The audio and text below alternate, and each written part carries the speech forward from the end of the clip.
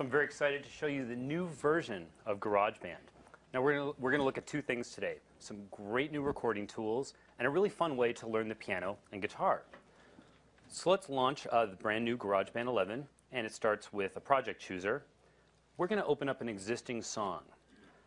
Now this brings up the part of the garage of GarageBand that most people are familiar with. This is the canvas where you record and create your songs.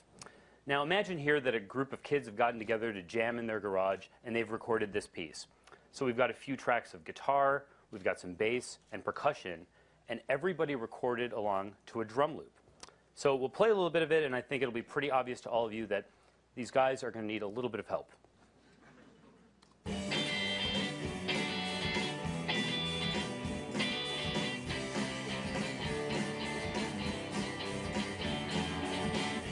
Okay, kind of a mess, right? Well, the problem here is the rhythm. Everybody's just playing really sloppy. Now, they all recorded to a drum loop, so if I start by just soloing the drums that they, they began working with, drums are great. The drums are not the problem here. In fact, the drums are the only thing in this entire song that are playing with good rhythm. And we can really, uh, we can really show this off by just bringing in some uh, additional musicians, and you can quickly hear things falling apart. Right? Those two guitars, they're all over the place. They're having uh, some, some struggles keeping up with the drums. But the great thing is that the groove matching feature, the new groove matching feature in GarageBand 11, will let us fix all of this with just a single click. So as I hover my mouse over the left side of these tracks, you see the star appears. So I get to pick one track in my song to become the groove track. And of course, we're going to pick the drums here. And uh, look what happens when I click on the drums. GarageBand instantly analyzes the rhythm of those drums, including the human feel. That's a really important part of that performance.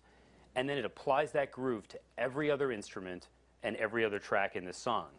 So now when I go back and play this, all the instruments, instruments are going to be locked together in perfect rhythm, but to a human rhythm, because we don't want our song sounding robotic. So let's listen.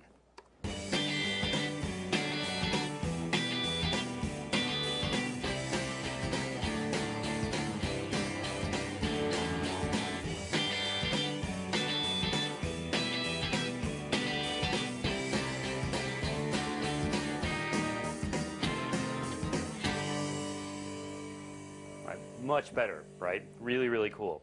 So that's groove matching, and it's, it's kind of like an automatic spell checker for bad rhythm. It's really great. So groove matching is great for these global timing fixes to your song. But sometimes you want to go in and you just, you just want to target one or two notes and get them just the way you want them. And that's a perfect job for the new flex time feature in GarageBand 11. Now, you might remember at the end of the song, all the guitars kind of hit that one big chord and they really let it ring out. Um, I'll play a little bit of that to remind you.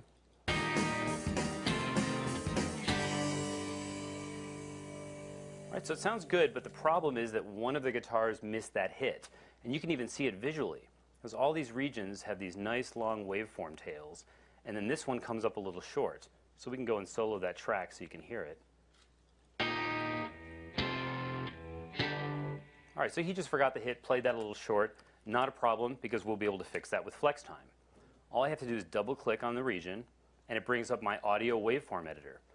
And the great thing about flex time is that I can click right on the waveform and now look at this. I can stretch it out to make it longer, I can make it shorter.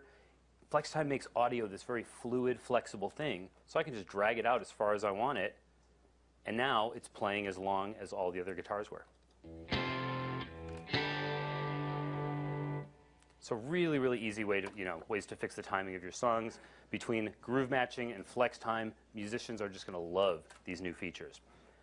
But now we're going to go to a completely different part of GarageBand because GarageBand also has music lessons built right in. You can learn to play piano and guitar directly in GarageBand.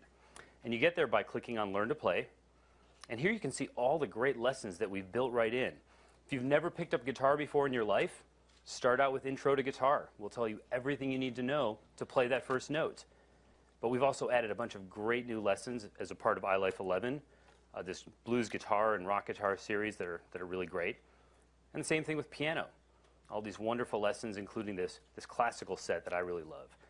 And uh, we'll play out, let, let's take a look at Mozart's Minuet in F major.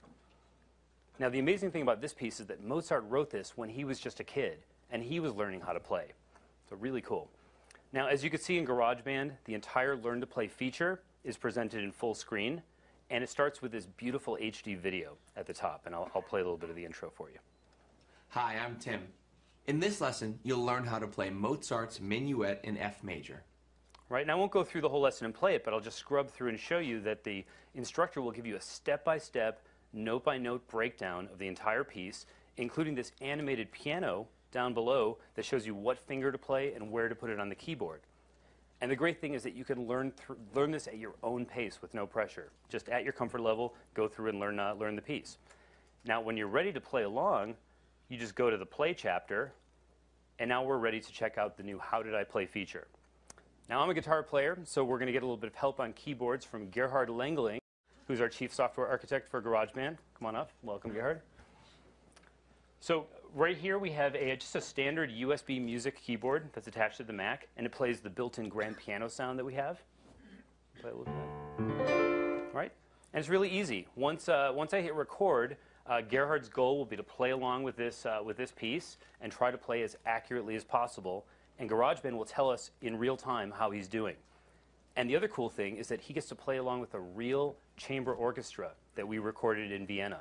So it's always better to be able to play with real great musicians from day one than a boring metronome. So if you're ready, Garrett, I'm going to hit record and then get out of your way here. Sure. Ready? Okay, good luck.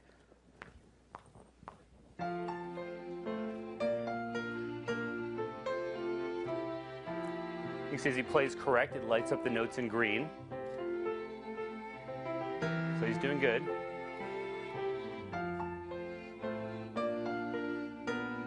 Okay, so if you make a mistake, it'll highlight it in red for you. And you can see little timing. When your timing is off, it shows you that in yellow. And in the lower left corner, it keeps a running score of how you're doing against the entire project. All right? Okay, so I think you get the idea. We'll stop it there. And the great thing is that, thanks, Gerhard. Great job.